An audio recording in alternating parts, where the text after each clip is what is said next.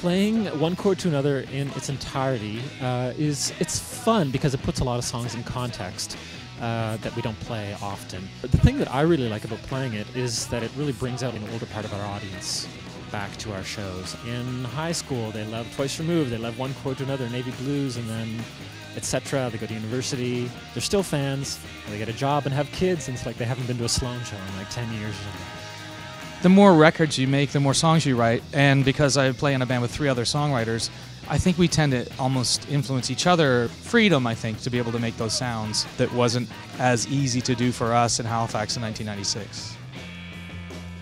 Uh, how long have we been using Boss? I think since the beginning.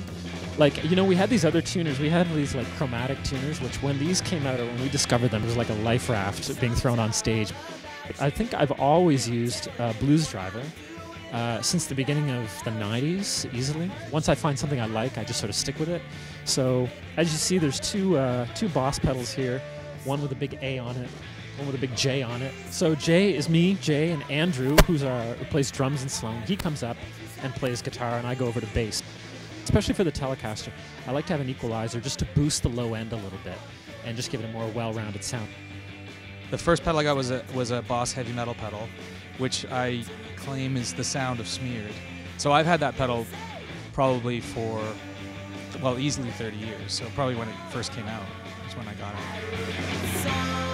it. I use this equalizer almost all the time, but I've been using it as an overdrive. It's sort of EQ'd in such a way that the volume is up a little bit and it just gives it like a little bit of a saturated overdrive that's a little different than a straight pedal overdrive. A lot of times I end up having to do two pedals at the same time. So it might be like a delay and, and a distortion for lead.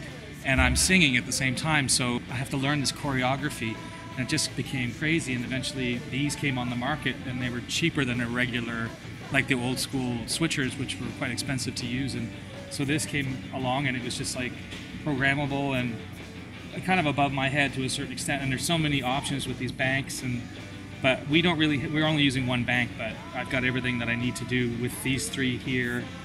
And then this would trigger the pog and delay which is this new delay over here the DD-500 which i really like. It's just it's like like it's basically a little studio almost and like the amount of work you can do with it which i'm barely scratching the surface with